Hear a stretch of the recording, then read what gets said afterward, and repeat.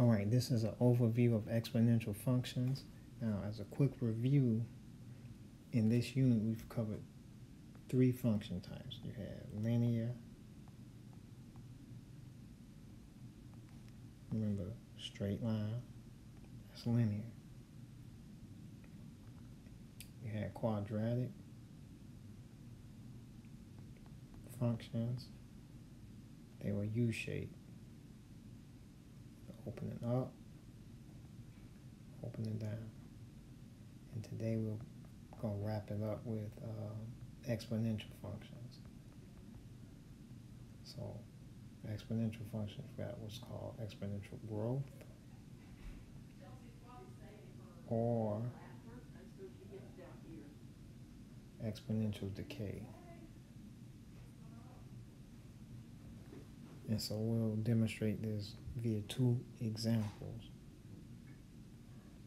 All right, so let's start out with uh, exponential growth. Now you can define it two different ways.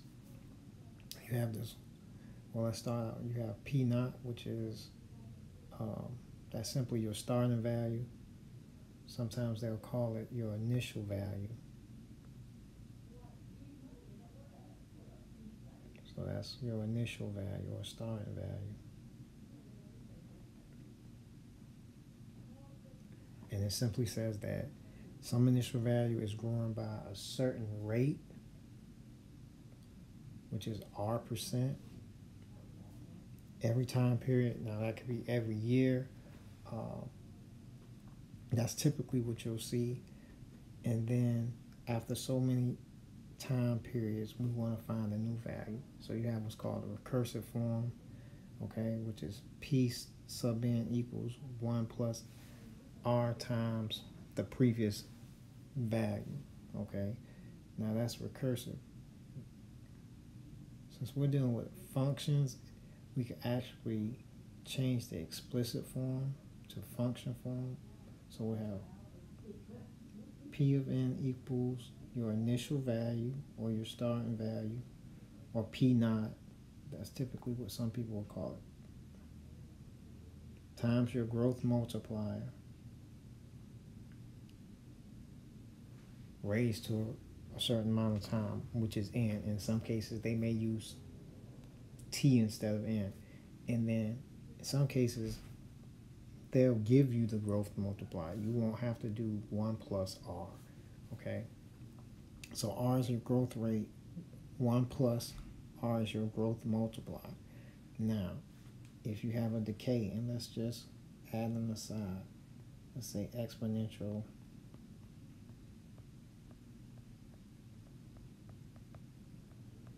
decay. So you will still have your initial value, and then instead of having a growth rate, you'll have a decay rate. So 1 minus r raised to an n, raised to a power of n, and let's call that p of n. So remember growth going uphill, decay, you're declining. So think of flu vaccinations, okay? Flu vaccinations, you want people to be vaccinated so the incidence of flu declines with time. And actually, let me clean up this graph. It'll look something like that. All right, so let's look at an example.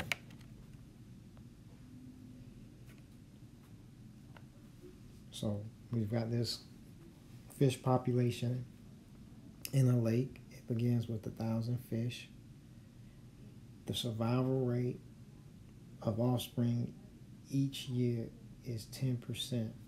We're gonna, we want to complete this table using explicit or what we'll recall uh, functional notation or recursive form of the equation. So first thing we're going to do, we're going to define our parts.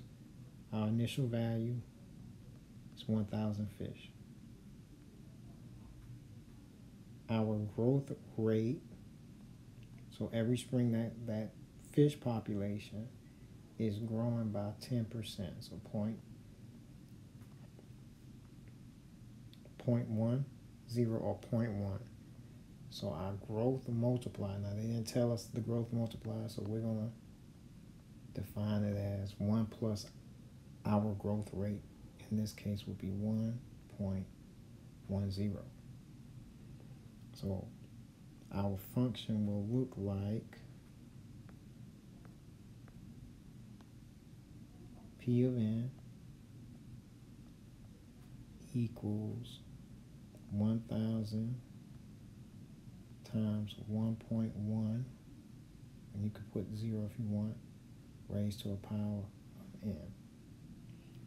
So using functional form after one year our fish population we would, would say P of 1 equals 1000 times 1.1 raised to a power of 1, which gives us 1,100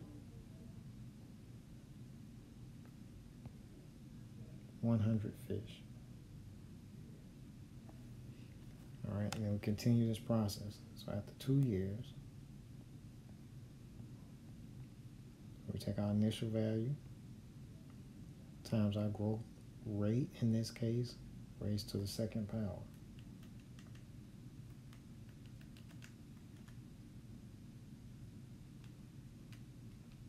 we get the new population is 1,210 fish. Right, three years.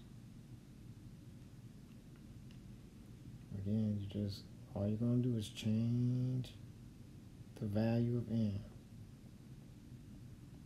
or t or x, whatever variable you're using. Notice the initial population still the same. Growth multiplier is still the same. We're going to the third power, 1,331 ish. And keep continue this process. So after four years, the fish population is, and we're going to round here because we're going to end up with 1,461 fish, 0.1 fish, right? Can't do that, so we're going to round that to 1,464. After five years,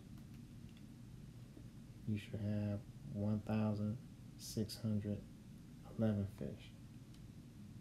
All right, and then what happens with this exponential growth at 10 years, notice we're at 2,594 fish. And then finally, after 20 years, the fish population is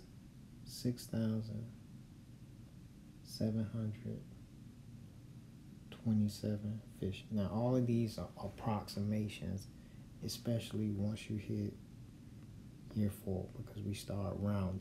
Okay, these are all approximate values.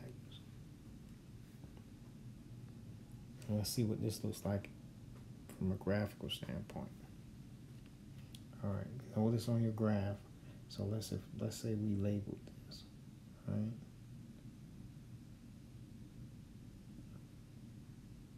All right, now time our x-axis would really be in n. This would be our what you would call y-axis or p actually. This would be p. All right. Notice this value right here. That's our starting value.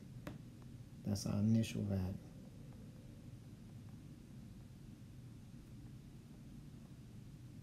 And then you just plot a series of points and you see that even though this this seems to look linear, there's actual actually there's a curve to this, and it it should the population is growing, so we should have something that that's going uphill from left to right.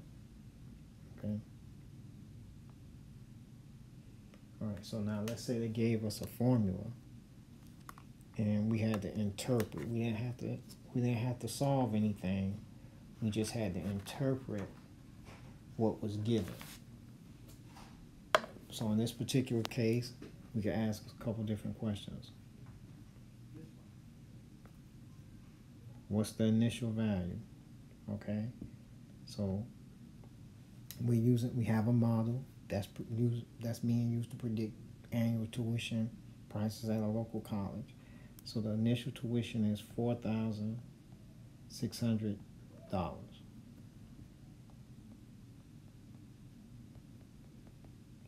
So that's their starting tuition in the year 2010. Okay. Now, R is we need to find that. So what is it? Okay, we know our growth multiplier because it wasn't given to us. So we assume growth multiplier equals 1 plus r. In this case, we, we have 1.072 equals 1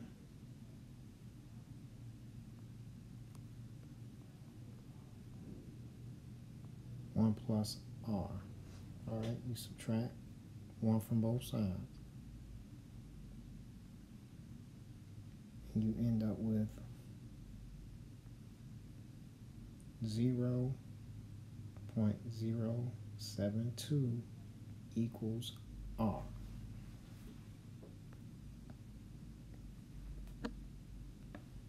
Which implies that, now that's a decimal.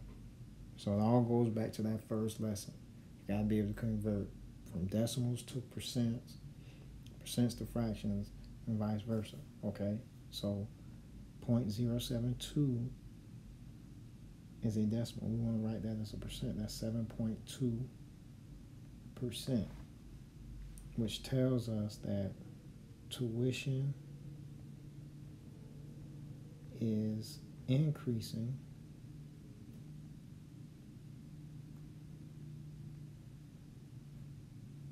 by 7.2% per year. All right, so now notice it didn't ask us to solve for anything. We just had to dissect what was given.